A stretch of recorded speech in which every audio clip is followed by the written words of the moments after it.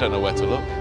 I'm George Mann and I'm the author of Star Wars Myths and Fables. The type of stories that Luke and Leia might have heard at bedtime, that sort of thing. It's crazy to be here in Batuu, surrounded by this amazing place that I'd read about. There's a story that's set in the cantina here, a guy who's telling a story within a story about he's being chased by a bounty hunter and he's telling a story to set that bounty hunter on a different trail. And there's a second story about a young girl and her family, the children being taken and her mission to free her brothers and sisters. We're going to be creating a special edition of the Star Wars Myths and Fables book that's exclusive to Galaxy's Edge. It's going to be specially bound to look like it's an artifact from Batuu and it contains the nine original stories as well as six brand new stories. The thing about Star Wars is that depth of mythology that's been built up over so many years. To then contribute something new to that is, a great honour.